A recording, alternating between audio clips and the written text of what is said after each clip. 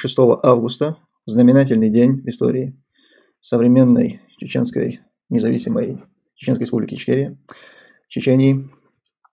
Вообще, по, по-хорошему, это что-то наподобие 9 мая, это приблизительно такой же а, знаменательный день для нас, не совсем правильно называть это праздником, просто это очень важная дата в нашей истории.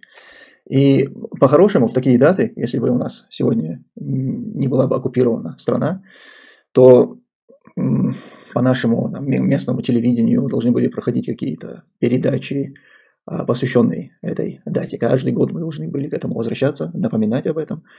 А для чего это делается? Не для того, чтобы сделать из этого а, повторяющиеся там какой-то праздник и так далее, а просто очень важно такие даты, их помнить, передавать их каждому последующему поколению. Это касается и трагических дат, это касается и радостных вот таких вот успешных. Да, трагические мы должны передавать, наподобие 23 февраля, допустим, э, день высылки чеченцев и ингушей. А мы должны это передавать для того, чтобы об этом помнили, постоянно знали, что подобные вещи случались и будут случаться, что это а, постоянная угроза, с которой мы можем столкнуться, пока у нас есть неулаженные отношения с, а, с нашим соседом, то у нас такие проблемы могут быть. Поэтому вот, это, вот эта вот передача этой памяти, вот этой информации, она для нас очень важна. И также передача подобных вот а, радостных, да, для нас это радостная дата, 6 августа, это тоже очень важно, чтобы мы помнили, наше каждое следующее поколение знало о том, что это был э, день, в который началась операция, затем ставшая триггером для победы свободной Чечении в российско-чеченской войне. Поэтому очень много, понимаете, есть дат предыдущей нашей истории, уже истории Кавказа, нашей совместной. Есть очень много таких вот и трагических дат, и знаменательных дат, которые, к сожалению, преданы забвению. Им не, а, не уделено должного внимания. Есть люди, которые об этом знают, помнят, каких-то личных разговоров с этими людьми. А, ты получаешь какую-то об этом информацию. Но вот так вот широкая общественность об этом не знает, потому что подобные вещи должны на государственном уровне вообще продвигаться. Почему вы думаете, а, для России сегодня так важно сделать из 9 мая вот какую-то скрепу? Модное слово сейчас современной России. Почему они сделали с 9 мая скрепу? Потому что это, это важно, для них это важно. И вот для нас это тоже должно быть важно, и мы не должны превращать 6 августа в скрепу, в 9 мая придумывать какие-то сказки об этом. Мы должны просто как есть эти вещи а, проговаривать, к ним возвращаться. И поэтому не мешает. Конечно, есть уже, я посмотрел сегодня у меня на канале целых два ролика, а, посвященных этой э, дате, а, с интервалом в три года они сняты. А, но не мешает какими-то, пусть не так подробно, но все равно об этих вещах говорить. Итак, 6 августа 1996 года и город Грозный, и практически все крупные населенные пункты, районные центры, все это находится в оккупации, контролируется Россией. Разница от сегодняшней, сегодняшней Чечни, да, сегодняшнего положения Кадыровской э, Чечни и того положения, разница лишь в том, что на тот момент у нас э, наша действующая армия, наше сопротивление, оно, оно гораздо, ну, сегодня его вообще в принципе нет да, на территории э, Чечении. А на тот момент оно есть, и оно более организовано. И есть даже какие-то маленькие, не крупные, но маленькие населенные пункты, э, которые не контролируются российской оккупационной армии, но эти населенные пункты находятся под нашим контролем. Их немного, но они есть. И в целом мы на тот момент уже ведем а, партизанскую войну. То есть, когда я говорю, что есть населенные пункты под контролем нашим, я не имею в виду, что там они окружены и там ведут позиционные бои. Просто эти населенные пункты, их туда не суются а, российские войска. Если они туда сунутся, то начинаются какие-то боестолкновения, мы потом потихоньку куда-то отступаем либо в другие населенные пункты, либо там в леса теряемся, потом э, люди спускаются в населенные пункты, начинается партизанщина. То есть вот такой вот, а, в таком формате идет война. А, и находясь вот в таком положении, когда по российскому телевидению твердят, что все, мы практически там всех уже победили, провели выборы, тогда тоже был свой Кадыров. Вот здесь, а, Ахмад Хаджи Кадыров. На тот момент роль этого Ахмата Хаджи Кадырова выполнял Дока Завгаев. То есть здесь важны не имена, а важна суть. Это что тот был ставленником Кремля российской марионеткой, что этот является российской марионеткой. И видите, где-то это может быть такой партийный работник со стажем, как Докка Завгаев, где-то это может быть бывший муфтий свободной Чечении Ахмад Кадыров. Но суть от этого не меняется. Здесь ты просто, точнее, Россия просто меняет фигурки, но позиция, она всегда одна. Это марионеточное а, правительство, это человек, который ставится Кремлем, который ими контролируется. Но для того, чтобы его туда поставить, чтобы не сказать, мы вот его взяли, его туда поставили, чтобы перед миром, там, перед людьми сделать какой-то вид, создается вот это вот, э, создается спектакль в виде там, референдумов, выборов, еще чего-то. Вот на тот момент существует такая же администрация, существуют такие же кадыровцы, только на, тогда это милиция, э, Завгаевская, там, Гантимировская, какие-то формирования, которые, которым выдаются удостоверения, им дается оружие, и они, ну, выполняют, да, конечно, кто-то может возразить, что такое сравнение – Э, оно будет слишком грубым, что тогда, мол, они не были такими преступниками, что Завгаев никогда по, по уровню э, предательства там, и своей преступности не сравнится с Кадыровым. Я слышал такие мнения. И я сейчас не хочу поставить их вот по уровню, то есть от э, 0 до 10 баллов, там, оценивая, допустим, мерзопакостность каждого из них, я не говорю, что они вот одинаковых баллов заслуживают. Но суть у этих людей одна. Может быть, кто-то в меру своего образования, там, своей жизни, а, своих каких-то взглядов на эту жизнь, он, может быть, был менее преступным, он, может быть, не пошел бы на какие-то э, очень такие тяжкие преступления, на которые пошел и идет сегодня там Кадыров. Но суть от этого не меняется. Что тот, что этот, они являлись предателями, они были э, ставленниками Кремля. И вот в таком положении находится и народ, и республика, мы под оккупацией, у нас стоят посты по Грозному, по всей республике, везде нас проверяют, комендантский час действует, при всем весь город просто разбит, убит. Просто страшная а, картина. Мы, я тогда маленький, я помню, мы там с ребятами собираемся, и а, целый вот район наш, там, где у нас частный сектор, а, мы, у нас ну, в народе его называют 20-й Куян, Квась, там его называют, вот этот район, а, там где-то процентов 70 жилого фонда разбито и не заселено. Вот люди как уехали, там разбили, значит, их дома, и у людей во дворах черешня, вишня, абрикосы, это все начинает цвести летом. И вот мы с пацанами там собираемся, идем, значит, просто ходим по улицам, заходим в любой двор разбитый, и там, что у них растет, мы просто залезаем на деревья, кушаем. Вот в таком положении живет а, вся республика. В город днем люди приезжают, потому что все равно Грозный это такой а, бизнес-центр сказать, будет слишком громко. Такой рыночный центр. Все приезжают в Грозный, чтобы отовариваться, закупаться продуктами, продавать. То вся жизнь кишит в Грозном. И сел, все стекаются туда. Вечером до комендантского часа все обратно разъезжаются, город пустеет. А таких жителей коренных, живущих в городе, тогда не так много. И начинается ночная а, российская а, Колорадо. Я сейчас, честно говоря, я уже не, не могу точно сказать, что всегда они стреляли там просто так, да, со страху. Когда-то, ну, наверное, реально на них там нападали, какие-то перестрелки бывали. Но в целом каждую ночь они почему-то куда-то палят, они стреляют. Каждый пост стреляет. Не может быть такого, чтобы каждую ночь на них, на каждый пост в городе э, совершалось нападение. Такого быть не может, поэтому, э, скорее всего, основная часть этой стрельбы это просто не подходите, мы здесь вот стреляем, наверное, для этого. Либо просто им весело стрелять, я не знаю. Каждую ночь они стреляют, вот в таком режиме мы живем. А, правда, на сами события 6 августа а, меня уже не было. А, в Чечне мы были за пределами. Эти события мы не застали. В общем, в таком, вот в таком положении живет значит, республика, и никто вообще, ни в России никто не ожидает, что будет, какой-то, будет какая-то операция чеченской армии, что кто-то там начнет серьезно прям вступит в бой, потому что по новостям рассказывают, что все уже, всех победили, Джахара уже на тот момент нет, а, он погиб, его убили, да помилует его Всевышний Аллах. Президентом у нас является а, Зелимхан Ниндербиев, он вступил в должность, а, так как он являлся вице-президентом. А по конституции нашего государства вице-президент в случае, если президента не стало, он ушел в отставку, там, импичмент или что такое, вице-президент становится полноправным президентом страны до проведения следующих выборов. Вот Зелимхан Индербиев на тот момент у нас президент, руководителем генштаба, министром обороны у нас является Аслан Масхадов. Никто ничего не ожидает, кроме, наверное, людей как-то посвященных в тему, наверное, они что-то знали. Вот так вот люди живут, знаете, своей жизнью. И 6 августа мы узнаем, я и моя семья об этом узнали по телевидению, российским новостям, мы узнаем, что в городе идут бои Сначала передают так аккуратно, что, мол, там что-то, типа это, это что-то незначительное, там сейчас ну, я имею в виду российская армия, это так комментирует. Журналисты в России на тот момент все-таки, в тот период, свобода слова, она была в России. Ее пытались там как-то на нее влиять, но она была в целом. Поэтому журналисты свою работу делали, и журналисты освещают эти события и дают, дают понять, что это не просто какая-то там а, группа напала на пост, обстреляла, там сейчас уйдет.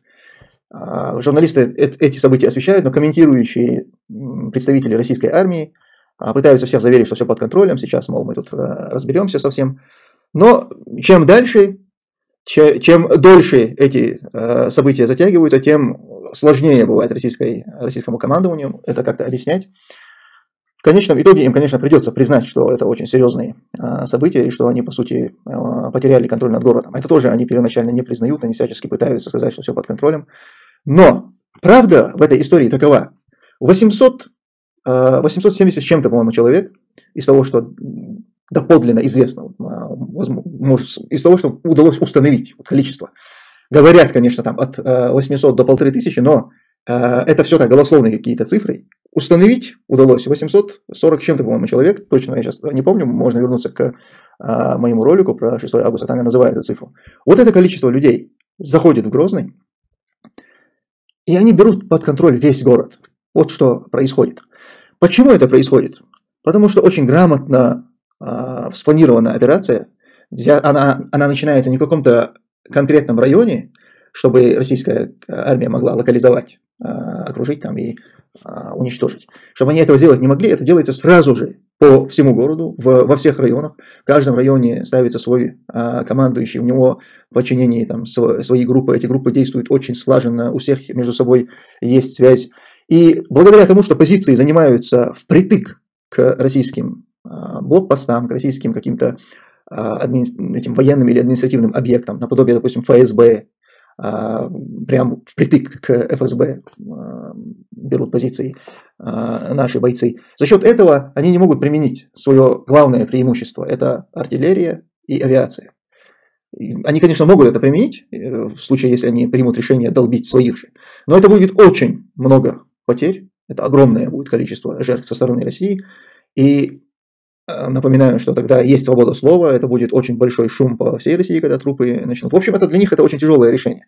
Сегодня, если бы эти события происходили сегодня, я думаю, они бы ну, Путин бы с легкостью а, переубивал там а, всю свою армию, чтобы не, не сесть за стол переговоров, чтобы не а, потерпеть поражение, так как, ну, нам не приходится сомневаться в Путине, так как он принял решение убить детей в Исламе. Я думаю, человек, принявший решение убить детей, с легкостью примет решение уничтожить там каких-то российских солдат.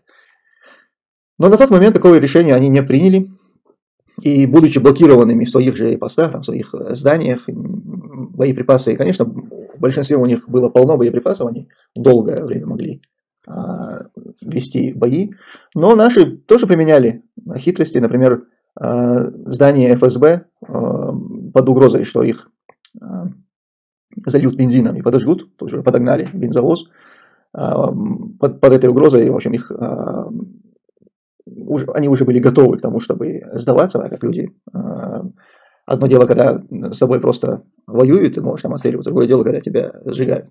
В общем, под, под вот таким вот давлением им пришлось сесть за стол переговоров. И тогда начался переговорный процесс в Хасавюрте. Это, это, там будет потом, они придут к э, перемирию, которое известно сегодня как Хасавюртовские э, соглашения. Это все произойдет не 6 августа. Мы должны, вы должны понимать, что это целая а, череда событий, это дни, это, это и война, это и переговорный процесс, это все продлится в течение определенного времени. Но благодаря тому, что начало этому было положено 6 августа, поэтому в историю вошла именно вот эта дата, 6 августа. И после того, как война нами была выиграна, каждый год 6 августа у нас был государственным праздником. И это так и должно а, продолжаться этот день, он э, пусть не в форме праздника, там, чего-то, но он должен постоянно выделяться, он должен быть красным в нашем календаре. Мы должны э, эти знания, эту информацию передавать. А очень важно, чтобы ветераны, участники тех э, событий, чтобы они побольше об этих событиях рассказывали, чтобы эта информация у нас была запечатлена. хорошо, благо, да, что сегодня есть интернет, есть вот эти все возможности, то, чего не было у людей раньше, поэтому очень много событий ушли, они преданы забвению, так как где-то вот эта цепочка обрывалась, передачи книги у нас писать начали поздно, а вот те события времен Кавказской войны, то, что, о чем мы сами не написали, а сторонние историки, там, а, исследователи как-то что-то упустили, эти события просто ушли. Поэтому сейчас есть у нас возможность сделать так, чтобы эти события не а, забывались, поэтому это нужно использовать. Еще 6 августа и вообще первая война, она а, знаменательна тем, что на все, ну, много, многие из тех, кто во вторую войну станут предателями, перейдут на сторону России и даже станут ключевыми фигурами в этой российской оккупации, эти люди тогда, 6 августа, по крайней мере, официально находятся на нашей стороне. Видите, насколько, насколько вот непредсказуема э, жизнь, судьба. Между этими событиями 6 августа 1996 года и начало второй, э, второго вторжения России, между этими событиями три года всего лишь. Но эти три года настолько поменяют многих людей, настолько выявят искренних и э, лицемеров, все это произойдет вот в этот короткий, совсем маленький период.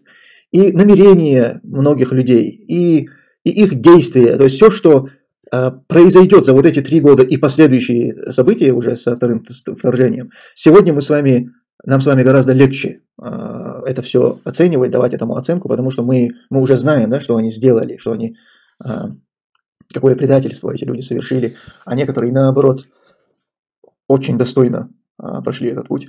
Поэтому, если там тогда, допустим, Ендербиев Э, когда этот Ахмад Кадыров какое-то письмо там прислал к нему с чеченскими уважаемыми старейшинами, он прислал ему письмо, в котором что-то написал, мы должны, значит, что-то войну там, ваххабизму объявить, сделать то-то, то-то, а Зелимхан Яндарбиев на тот момент президент. Еще выборы 97 -го года не прошли, еще а, Масхадов не избран президентом, то есть на тот момент у нас президент Яндарбиев. И а, Кадыров собирает там каких-то старейшин, очевидно, лояльных себе, пишет вот это вот письмо и отправляет его э, Зелимхану Индербиеву, президенту. И Зелимхан говорит, прочитав это письмо, он говорит, этот человек работает на ФСБ. И вот представьте теперь себя то, в те времена, в 96 году, представьте себя, вы знаете Ахмата Кадырова, который вышел на трактор, встал на трактор и обращается к людям, говорит, «А, это Россия наш враг, мы, говорит, объявляем, ну, он объявил вообще джихад, если, если кто не знает, объявил священную войну России, и он говорит, тот, кто не выходит на эту войну, на этот джихад, на священную войну, тот является лицемером. А, жена не должна спрашивать своего мужа, выходя сюда, допустим, чтобы выйти на митинг. Если муж, говорит, ей не разрешает, она должна оставить его там, где он находится, и выйти на этот митинг. То есть это человек, который полностью поддерживает. Когда происходит рейд на Буденовск, этот человек, этот Ахмад Кадыров, он, он называет это милостью Аллаха, буденовские события, что из по милости Аллаха, Аллах там даровал успех нашим ребятам, и за счет этого начался переговорный процесс. Вот так вот он характеризует это все. И вот представьте, вы знаете вот такого Ахмата Кадырова в 96 году, и тут вам говорят, что Залимхан Индербиев говорит, что он ФСБшник. Представляете, на тот момент тебе очень сложно это принять. Яндербиев, он, безусловно, был очень э, умным, грамотным человеком, проницательным. Он сейчас особенно да, ценно все то, что он тогда говорил, делал, его книга, которую он написал. Но, но, но тогда это воспринимается как какая-то фитна, что вот, мол, ну у них там между собой какие-то, наверное, непонятки, просто он где-то перебарщивает. Вот так вот это люди принимают, кроме тех, кто реально посвящен, кто а, знает, в чем дело. А сейчас нам с вами гораздо проще это все оценивать. Ведь оказалось то, что действительно так. Ведь эти, и, и вот эти три года, они выявили этого Ахмата Кадырова, они выявили Ямадаева. Ямадаев на тот момент и вообще все эти братья, но особенно Сулим, ну, и вся эта их семья, они тоже у нас там считаются там, такими молодцами, бригадный генерал, тогда с самым молодым бригадным генералом до того, как его дадут, а, это звание дадут Бараеву, был Сулим Ямадаев. Потом это звание дадут э, Арби Бараеву, но затем его э, заберут у него, и опять Сулим типа останется самым молодым э, бригадным генералом. Вы понимаете, люди в авторитете, их воспринимают как таких одиозных сторонников чеченской свободы, государственников, смелых людей, таких смелых мужчин, на которых держится э, вся эта наша государственность, благодаря которым мы выиграли войну, победили. Вот так этих людей воспринимают. И вот эти три года, они полностью изменят, а, покажут, кто есть кто. Многие, многое несправедливость, которая тогда была, а, применялась в отношении э, людей, несправедливо кто-то обвинялся, а, все это станет на свои места, когда начнется второе, второе российское э, вторжение. Окажется, что те, кого презирали, э, не принимали, называли всяких, всякими унизительными именами, эти люди достойно пройдут, достойно погибнут, сражаясь с врагом. А те, кем восхищались, которым давали чины, должности, звания, эти люди перейдут на сторону России, где-то будут даже без боя сдавать целые регионы, сектора. Ямадаев сдаст огромную часть республики, весь практически восток республики, вот Удермес до э, части там Ножиюртовского района, это все Ямадаев сдаст вообще без боя э, во время второго вторжения. Это очень важная такая веха в нашей истории, которую ни в коем случае нельзя забывать.